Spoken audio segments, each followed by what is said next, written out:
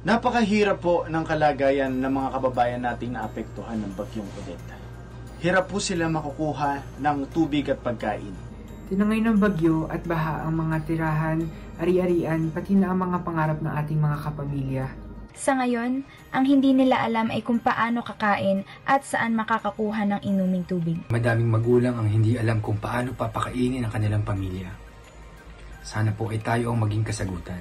Isang pamilya po tayo magtulungan para sa mga kababayan nating naapektuhan ng bagyong Odette. Andito po tayo para sa mga kapamilya nating naapektuhan ng bagyong Odette. Anumang halaga ay malaking tulong na. Ang donasyong gaya ng 400 piso ay makakapagpakain ng isang pamilya sa loob ng tatlong araw. Maaaring ipaabot ang inyong tulong sa mga sumusunod na bank accounts.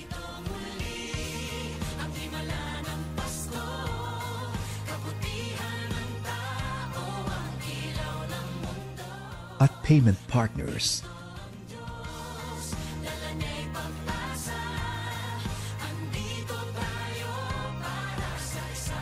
Maaari rin pong mag-donate ng pagkaing delata, bigas, tubig, blankets at hygiene kits sa mga sumusunod na drop-off points.